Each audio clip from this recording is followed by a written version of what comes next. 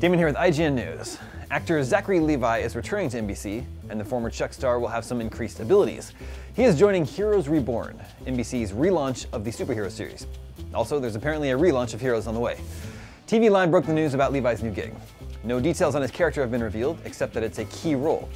Levi tells TV Line, There are a few franchises I've always wanted to be a part of, and Heroes is one of them. Chuck gave me the opportunity to wield some fun powers, but an entire world with superpowers is a world I've always wanted to explore. I'm so grateful for the opportunity to work with Tim Kring and the awesome team around him in bringing this to life. Levi is the second cast member to join the series, alongside the returning Jack Coleman. No date is set for Heroes Reborn, but it will debut sometime this year. For more, stay tuned IGN.